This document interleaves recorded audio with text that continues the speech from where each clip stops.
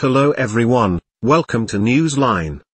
Walter Scott killing, ex-officer Michael Slager not a racist, attorney claims story highlights a witness tells the defense attorney, if you find I'm lying, I'm up to any charging defense attorneys argue Slager committed voluntary manslaughter, not murder Charleston, South Carolina, with prosecutors calling for his client to spend the rest of his life in prison, Michael Slager's attorney painted him Monday as a dedicated and professional former law enforcement officer who'd never exhibited a tinge of racism.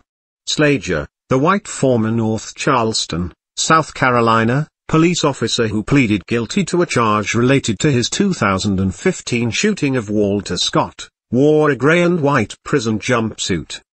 His wrists and ankles were shackled to his waist.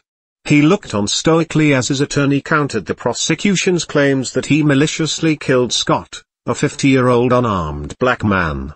Every stop he made had not the slightest implication of any racial implications, attorney Andy Savage said.